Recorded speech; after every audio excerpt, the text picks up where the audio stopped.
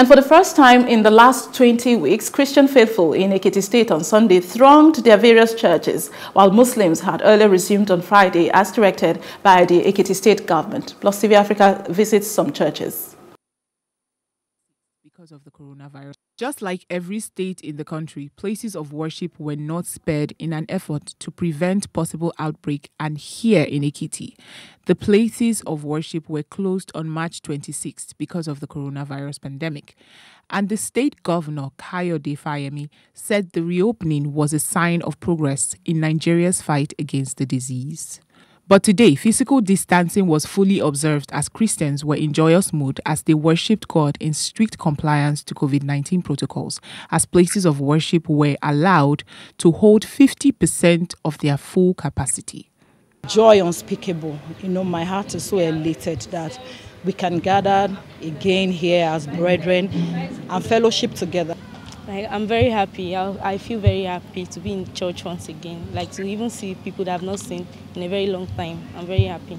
But Christian leaders are still asking for more, and they tasked government to allow children and the aged to resume.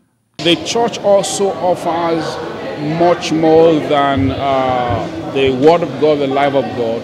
The church is also a social gathering where people uh, do not only believe, but we also belong. All right? So, and I believe that's why uh, President Trump said that uh, religious houses are they offer essential services.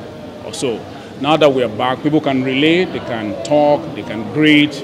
We are excited, and we thank God for that. And the joy is not complete because 40% of my parishioners are not here. They are either above 65 or 12 down. But we thank God that the church is has been opened partially and we are hoping the government will still look inward to still relax the COVID uh, thing a little bit. As the ease of lockdown continues in Ekiti State, it is the expectation of residents that strict compliance to COVID 19 protocols will continue to be observed and government will not be forced to reimpose lockdown.